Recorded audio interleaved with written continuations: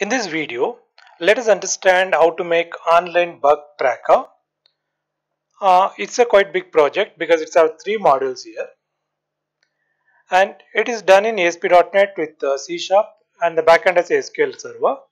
But still, after watching this video, you could able to make it in uh, JSP or PHP or in Python. So it's a web application project demo. We'll show you complete idea like how we can make bug tracker what are the options we can provide in this and how it will helpful for companies to manage their projects.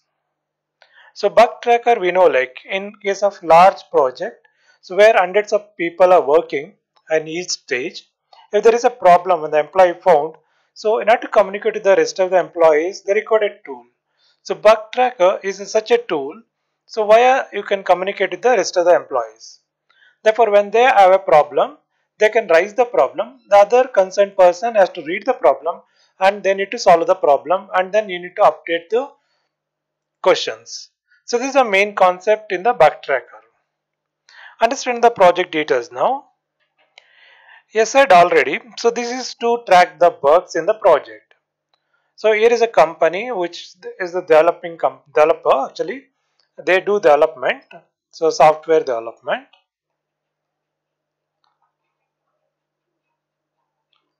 Development company.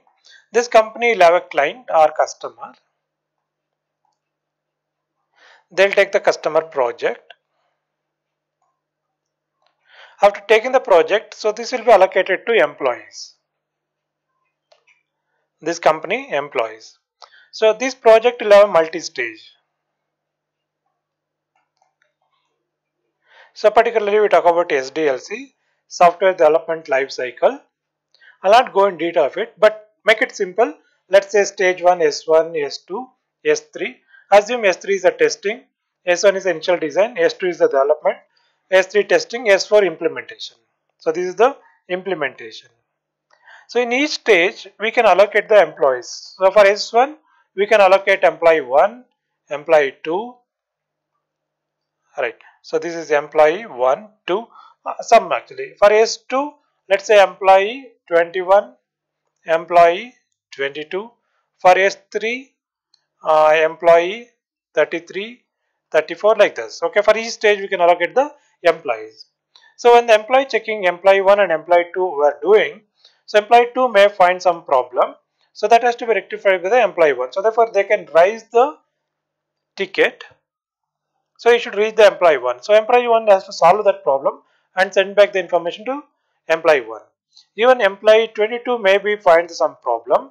So that need to be solved by the employee 2. So therefore you can raise the ticket to the employee 2. Employee 2 has to solve the problem and send back the information to the employee 2 too. So even customer also will track all these things. Even admin can also track this. Okay, so I'll show you this in the project. So next uh, we'll see the project now. For more details, you can right click on the Highblix tutorials and you can get mobile link in a new tab. So here you can see you click on videos, our video list. So which are the videos you're interested, you can watch them. So if you watch few more videos, you'll get a complete idea like how to make the project. So apart from this, we are explained like how to learn the language, how to make the synopsis, how to make the web design, how to make C Sharp project, all are explained. So please when you have time, so browse the videos and get understand and then you could able to make the project yourself. So let's come back to this bug tracker here. So it will have a mainly three module. So one is admin module. Here are the admin options. The next one is the customer module. So these are the customer option. The one more is the employee option. So these are the employee options. And here you have a database. These are the tables in the project. Fine. Now let's run the project.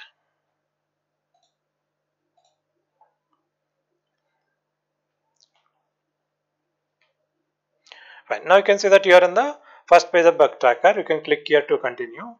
So we can go to admin login. So admin, we provide all these options, company details. If you go to list, there are two companies are created here. So likewise, you want to create a one more company you can write the company details and the uh, company this thing. So let's create like you know BPL.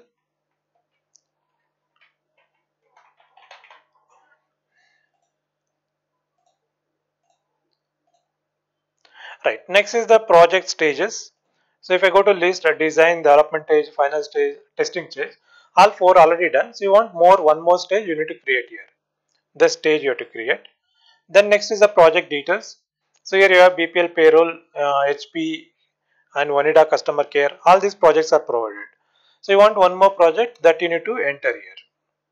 Then project employee assignment. So for BPL B role, you can see that uh, we are upload, we are already have the Ravi 01, Anu 102. Like that uh, for every project we can allocate the employees. So next is the customer. So here you can approve the customer like customer list. So it's already approved. So if not approved, we need to approve the customer. Then the corresponding list.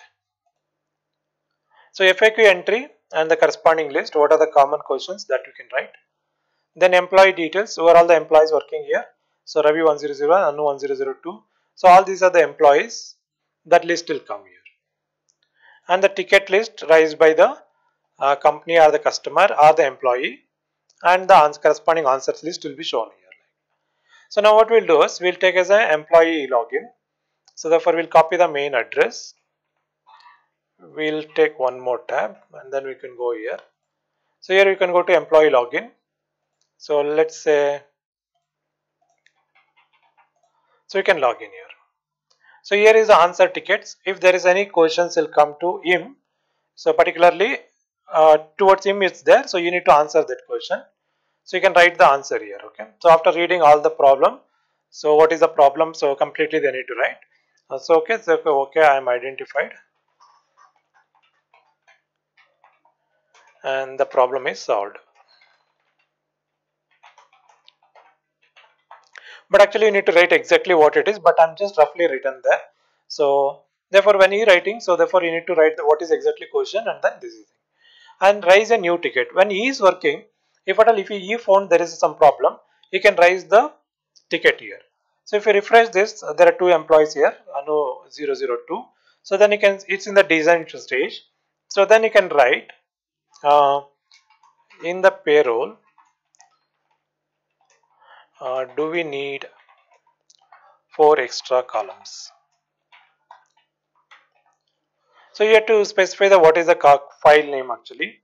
Uh, this is payroll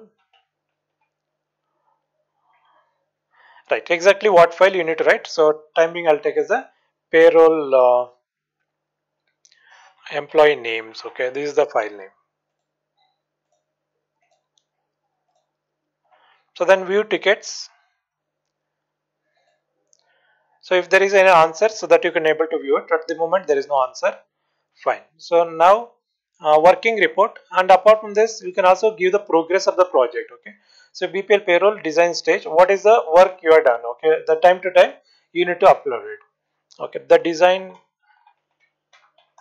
work is in progress.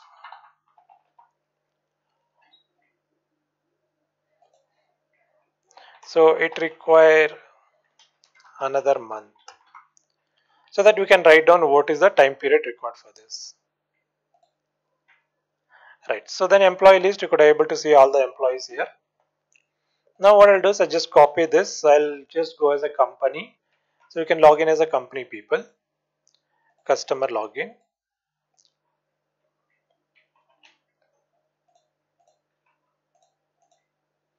Now you can see list of project. What is the project? Payroll project. So even they can raise the ticket. View tickets. If there is any ticket raised that we can also they can able to view. So they can see that they can see the solutions. What solution is already taken. Then view project progress. So what are the employees written? Design work in progress. That and all they can able to understand. So you can see that uh, the customer will be somewhere, the employee working somewhere. So everybody in, in track and everybody can able to discuss via this project. So this is the advantage of this project. Now I log out. So employee login. I log in as this is Anu.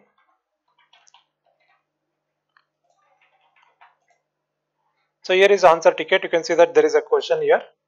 So select this and here write all the answers. Okay. Uh, do you need extra four columns? Okay. Then you have to answer uh, yes. Uh, we require these four columns. And you have to give the explanation why you required and all this index, and then you can update it. So this will reach the employee one actually. So view tickets. So there are no tickets for her. Uh, if they can even she can raise the tickets here. Okay. So what we can do is we can log in again with the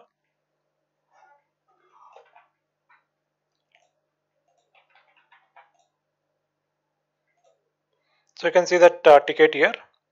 Yes we require four columns. And if there is any explanation that will come over here. So for the communication is in order so worldwide they can work now they don't need to be one to uh, next to each other anywhere in the country they can able to work so this is a bug tracker. If there is any problem in the software at any stages, okay, the list will be there at any stage so they can rectify it. So therefore they can record all the things.